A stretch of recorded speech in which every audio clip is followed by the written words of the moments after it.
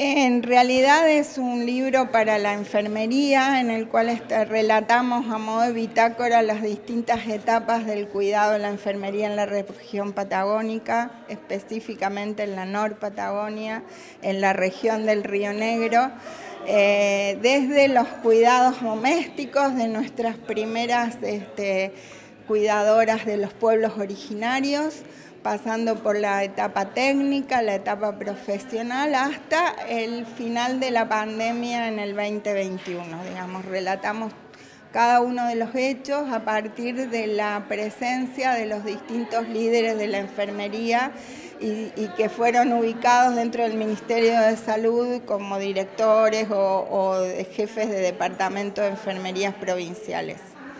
Bueno, Silvia, es su primer libro, ¿ya ha tenido alguna presentación antes?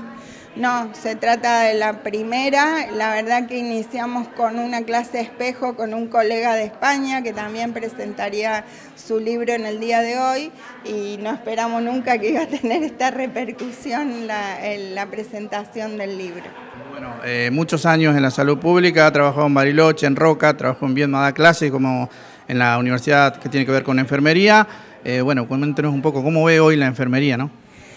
Y la enfermería desde aquellos primeros cuidados al día de hoy ha avanzado muchísimo gracias al trabajo de líderes y de colectivos, de personas que han puesto su esfuerzo, sus modos de organizar, sus pensamientos, sus desafíos en pos del desarrollo de la profesión. Hoy por hoy nos encuentra en un estadio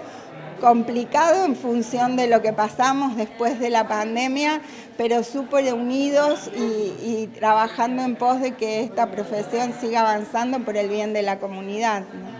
Bueno, mencionó la pandemia, ¿no? Hace una reseña histórica desde el inicio, incluso hasta la pandemia actualmente, eh, donde quizás fue eh, que se vio más el rol del enfermero, ¿no? Eh, creo que en todos los tiempos el rol del enfermero fue fundamental y fue visto por la comunidad. Lo que hoy tomó a partir de la pandemia es presencia en los medios y un reconocimiento diferente en el ámbito de la salud como actores partícipes de los distintos procesos sanitarios.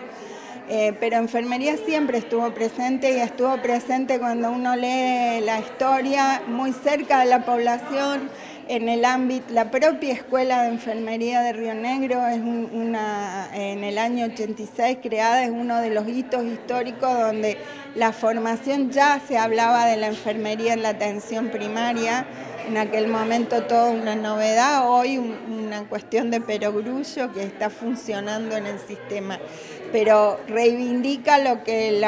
el Consejo Internacional de Enfermería nos plantea a nivel mundial, la necesidad de que las enfermeras tomemos posición, tomemos decisiones, lideremos procesos en pos de incorporar al sistema de salud una visión basada en un paradigma más centrado en la salud que en la cura de la enfermedad que eso está muy ligado al desarrollo de un paradigma médico, hegemónico, capitalista, digamos,